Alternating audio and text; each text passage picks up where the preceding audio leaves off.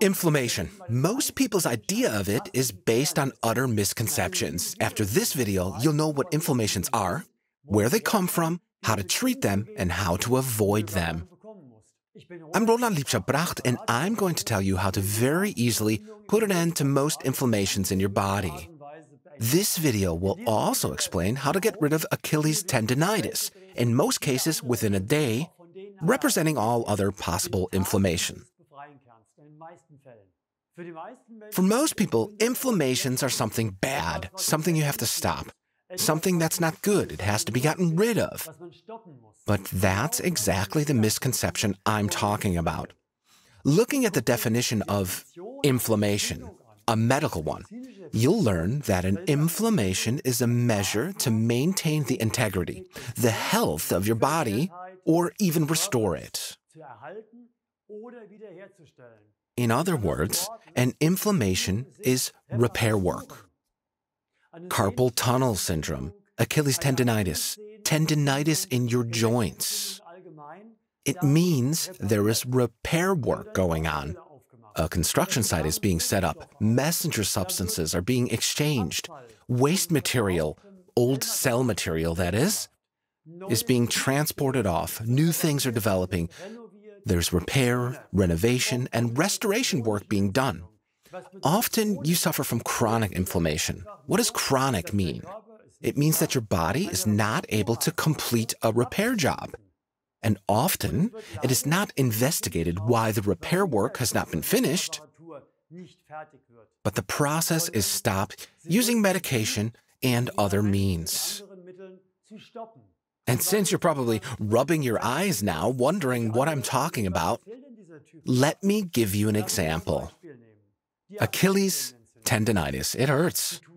Your Achilles tendon is swollen, painful to touch, even chronically inflamed for months. Maybe years you've been troubled by it. And what happens for treatment? They give you cortisone. Now, cortisone improves things, but from a certain point, the problem returns because repairs should never be stopped. Let's think together how this situation has come about. Your muscles are too tense in your calf. Your tendon is being pulled excessively. Then you may go for a run risking sudden additional stress on your Achilles tendon. And very small tears might happen again. And these very small tears, fatigue tears, stress tears, they need repair. The tendons swell up, they retain fluids, and the repair process begins. But you keep on running. The stress doesn't stop. You keep doing what you've been doing how is your body supposed to finish the repair if these small injuries, tears, come at it again? Sorry, but you have to say goodbye to the idea that chronic tendonitis is the same as chronic pain, for example. There is, as we see it, no such thing as chronic pain. We define chronic pain as pain that has not been treated correctly for a long time and therefore remains. And chronic inflammations are, in our definition, repair processes that are ongoing, but that always have to start anew because of continued injury. Because the real root cause of Achilles tendonitis, the excessive tensile pull has not been removed. Now, it's impossible to run through all the inflammations in your body or your musculoskeletal system in this video in one go, but the principle holds. And although we're talking about inflammations of the musculoskeletal system, you might as well include all the other inflammations. Take bacterial inflammation, for example. That's when bacteria invade your body and your body wants to fight them, destroy them. And that is included as well. And in this case, I'm not against administering medication or trying something else, but here it has a different purpose. It clears away the pathogen. But with Achilles tendonitis, where's the pathogen? It's not the inflammation messenger substance that initiates the repair. That's not the enemy that needs to be destroyed. No, the unknown enemy is excessive tension. And that's why you have to separate these two things. I believe that it's super important that everybody learns about these facts.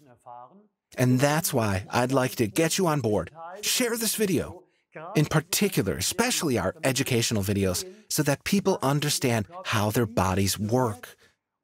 And they start treating them differently in a natural way. And I want to use Achilles tendonitis to let you in on the secret of how to get rid of the pain within a day. You have to know one thing. With a swollen tendon, really swollen up, it's not the inflammation that hurts. The repair process doesn't hurt. What hurts is the tension in there. And before you go, what is he going on about again? It's rubbish. To try is better than to not try. So don't believe me or other experts. Just try it out for yourself. Your body never lies to you, and it's going to tell you exactly how it feels. And you could feel it too. My tip stretch your calf. I'll show you an exercise later. You do this exercise for your calf muscle and foot lifting muscles. And I bet you that if you do this exercise, after only one exercise session, you'll feel that the pain in your tendon is less severe. It's still swollen, mind you, since the repair is still going on, even if differently now after the stretch. Because if you do these exercises regularly, you'll make sure that these micro injuries do not happen again and that the repairs can be completed. So this chronic situation is ended in a natural way. And that means you do the exercise, reduce the tension, and right after the exercise with reduced tension, you'll notice how your inflamed Achilles tendon hurts less. And so that you could start right away and check if the things I told you are correct or not. And please drop us a comment, let us know. Click up here for all the relevant exercises. And clicking down here takes you to some of our other videos. Well, you'll find tips for exercises to help you reduce pain from head to toe. See you soon.